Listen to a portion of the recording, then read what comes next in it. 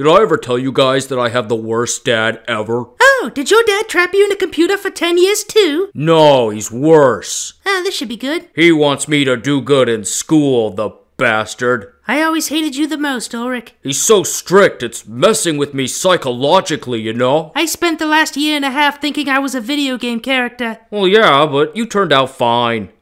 Sure, why not? And besides, aren't you and your dad cool now? I'm still pretty sour about the whole situation. Are we doing a Christmas thing or not? I didn't get it done, alright? I'll be done in January. But if it's coming out in January, why even make it a Christmas thing? I don't know. Me and Mario, the same. Just admit that my daddy issues are a bit more serious than yours. It's also because of him my mother is either dead or on her way to being a subplot in Evolution. God, I hope she's dead. You just can't get over yourself, can you? This post is lazy even for us. Yeah, let's close this out. Someone say something funny. Remember that time Ulrich fell off the diving board? you, Aelita.